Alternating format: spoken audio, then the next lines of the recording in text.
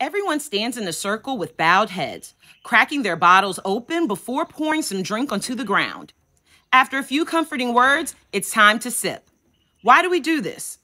When a loved one passes, sometimes we pour out one for the homie by sloshing a bit of liquor onto the ground in honor of the deceased. It's a centuries deep ritual our people have been doing forever. Where does it come from?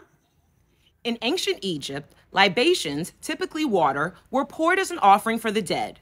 The ritual has stood the test of time, often appearing in hip hop culture as an ode or an act of reverence to the ones we've lost. For our people, libation ceremonies are considered an offering for those who have walked the earth before us.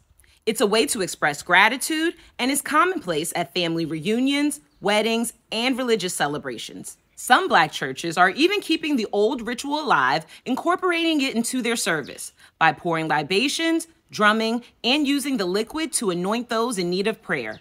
It's an international way to honor our ancestors.